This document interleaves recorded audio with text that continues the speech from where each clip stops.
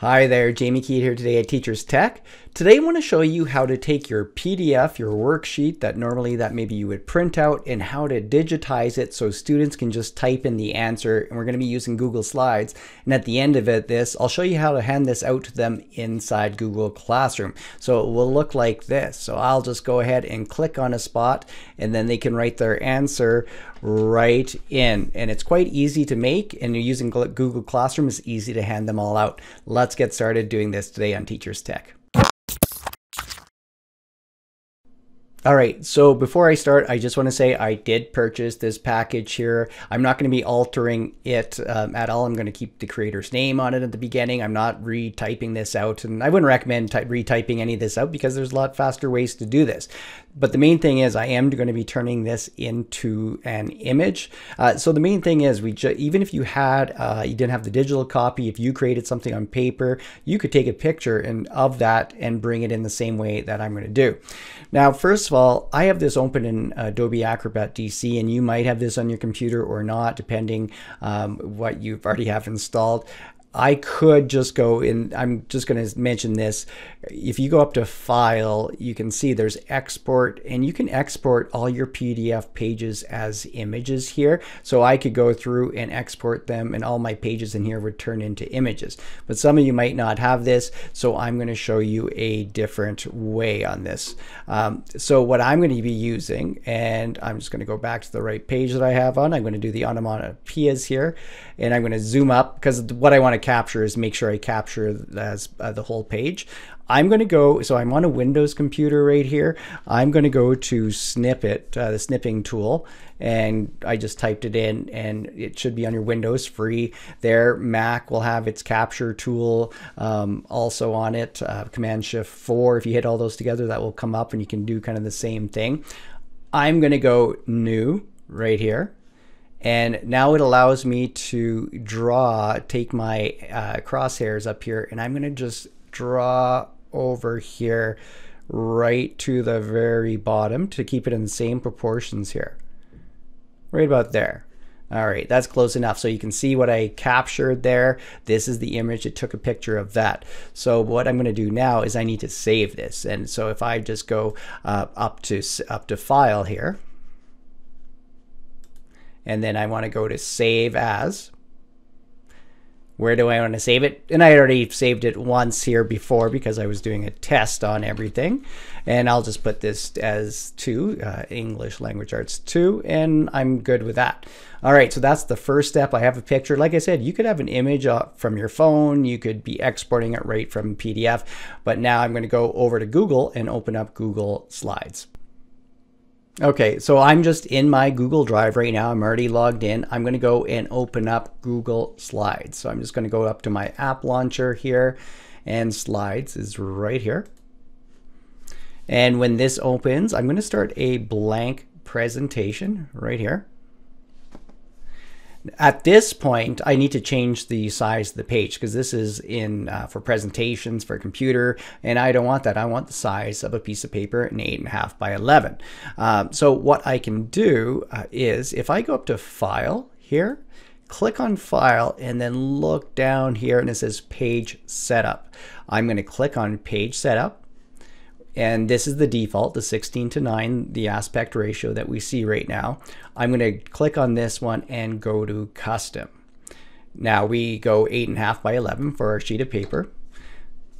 So the nice thing is if you're doing other things in Google Slides, remember you can do a lot of custom, um, you know, you create whatever you want to do, apply this over and over again. So I'm just going to hit apply. You can see how everything changed. I'm just going to close this side window down to get this centered.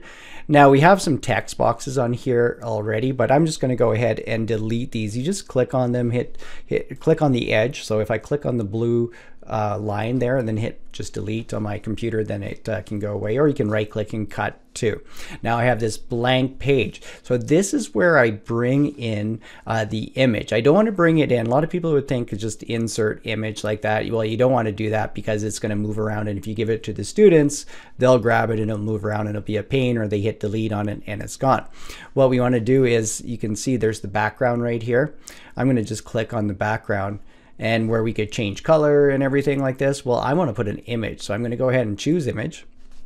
I need to browse. I'm under upload right here. If you had it in your Google Drive, you could go connect to your Google Drive right here, but I am under upload. I'm going to hit browse. And these are the two, as you can see, ELA2 is what I'm uploading. Remember, you, if you took that picture, uh, I had a different uh, video where I talked about scanning on your iPhone using notes. You could scan that in and upload it and do the same thing. I'll put a link to that video too if you're interested. But I'm going to go ahead and hit open on this one. So it's uploaded now. I'm going to hit done. And you can see uh, how I captured it in that proportion of the same size of page. Now it's taking up the whole page. Uh, and I can't grab this, right? I can't move this around or anything. It's, it's there. It's the background on it. So now all we need uh, to do now is add text boxes to it. And how we do that is you can see there's a text box tool here.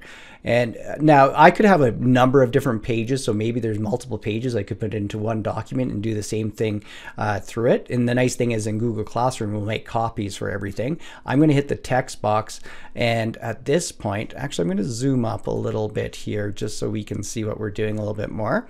Uh, so I'm going to go back to my text box again, and I'm just going to put a text box like this.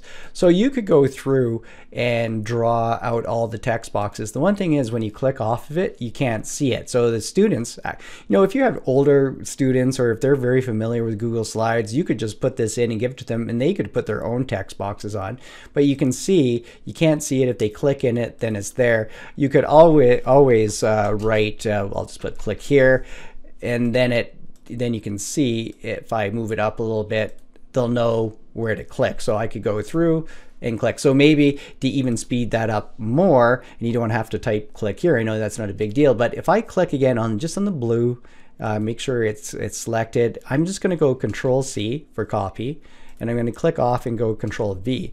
And now I can just go through and start moving these down very quickly and lining them up the way I want like this. So I'll just do a few more so you guys get the idea of this. And remember, if you have bigger spaces, so if I go down here and bring this one, oops, I missed that one, bring it right down here, you can change the size of these too. So you need a longer text box and then you could go back to go control C and control V again and you have a lar uh, larger text box.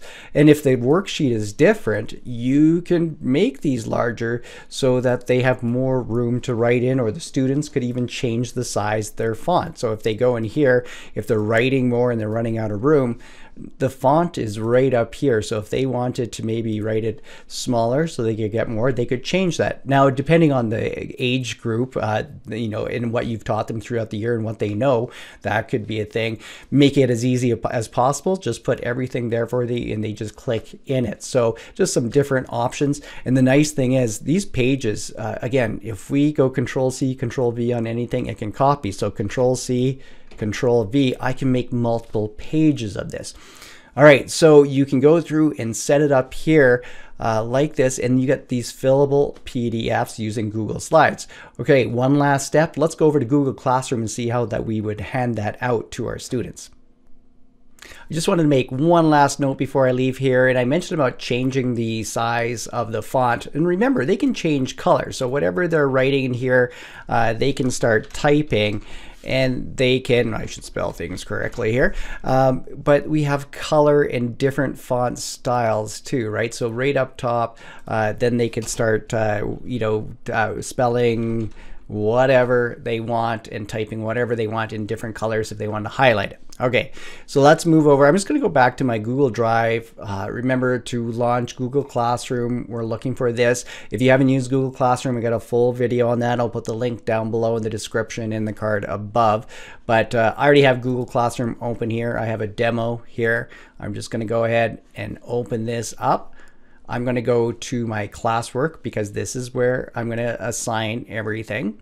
And I'm just going to create an assignment. And there's this one thing I just wanted to point out when you do assign this. So if I just go create assignment, I'm just going to call this ELA and I'm not going to put very much for instructions.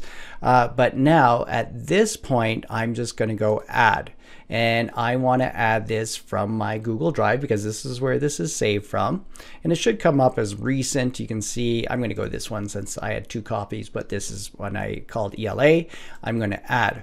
Now, this is the thing I just wanted to point out when you send this out so students can view the file students can edit the file or make a copy. Now remember, students can view the file, uh, they won't be able to edit, they'll be able to view it, but if you want them to, what I would suggest is make a copy for each student, because uh, if you give students can edit a file, they'll edit the original file, uh, but if you make a copy, each student will get their own copy. So make sure you change that, uh, depending on what you want, if it's collaboration work or not, but in something like this, this makes a copy easily that gets pushed out to all the students. And then you just go ahead and hit assign. Uh, depending on the points and everything. You can individualize this too, but again, take a look at my Google uh, Classroom tutorial if you want to learn more about that. So I hope you like this tip today, uh, taking a from a worksheet, a PDF, and turning it into something that students, you could send it out and students could edit. And remember, you just need that image to bring into Google Slides to be able to do this, then add the text boxes on. Let me know what you think, if this works for you, what other things you're looking for for tech tips for teachers. I do weekly content, and thanks for watching this week. I'll see you next time on Teachers Tech.